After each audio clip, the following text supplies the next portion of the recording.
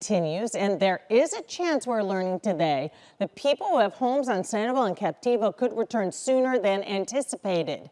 The governor was on Sanibel Island today, and NBC2 chief political reporter Dave Elias questioned him about the Friday deadline to open the causeway.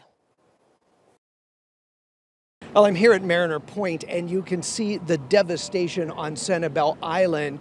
The governor was here today to promise people that the island will return to its normal beauty eventually. Governor Ron DeSantis boarding a boat to see progress being made to the Sanibel Causeway.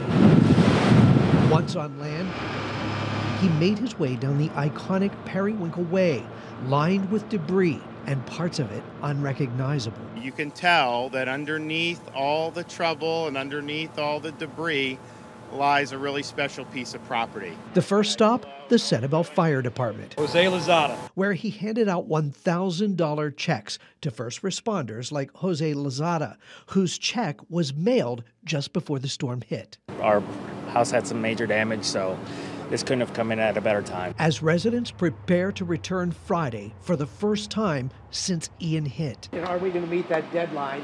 And it sounds like we definitely are. I think we will. Yes, I think we will, and I'm going to get a I'm going to get an update when I leave here. And Sanibel Mayor Holly Smith warning although residents may return this week, living here immediately may be impossible for many. We still do not have water. We don't have sewer. We don't have power. So to think that you can come and live here as you normally did before is really uh, a topic that I want people to be very cautious of.